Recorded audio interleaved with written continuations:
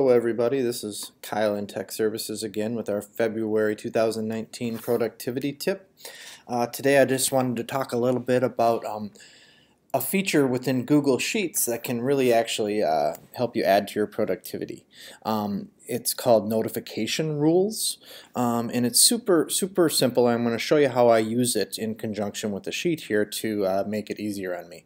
So um, in HR, whenever they get an ID badge, uh, there are tasks that Anna and I have to complete in order to register that ID badge in our systems. So how Heidi and Anna and I do this is that Heidi enters in the information on a, on a sheet and then Anna and I are notified when um, that is added so that we can log in to our systems and do that. So how you accomplish that is by first having a sheet ready to go. So here we have on my sheet here an ID badge sheet. Okay, so um, in order to set up uh, notification rules, you have to go to Tools, click on Tools, you go down to Notification Rules. So and then you'll see that I have a no notification rule set up here. So it says that if any changes are made, then uh, it sends a digest email to me. What that means is that whenever a change is made that day, they send me a summary of all the changes for that day. So whenever I get that email, that shows me that Heidi did some changes to this and I need to log in and go find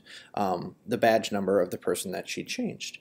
So I'm going to show you, so if you wanted to add another notification rule, as I, you can see I already have one, but you would click on this button right down here and it asks you a couple simple questions. So you can say notify me at your email address when any changes are made or when a user submits a form. So this is helpful if you do Google Forms as well.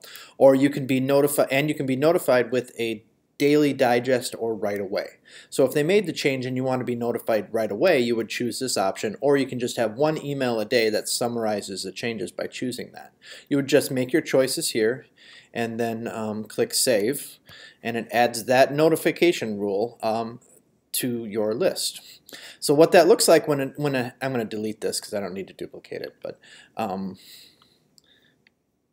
what that looks like um, is uh, in your email box you will receive a notification that says it comes from Google Docs. It says ID badges was edited recently uh, and then it says you can see the changes in that Google document by clicking here or you can open the current version of the Google document by clicking here. Okay, It also summarizes the changes within that email. So when you click on there, it brings up and it highlights any changes in the spreadsheet that were made and you can then go through and do your process as you see fit. If anybody has any questions or wants some ideas on how to implement this on any of your workflows, please don't be afraid to reach out. Thank you very much and you have a great rest of your day.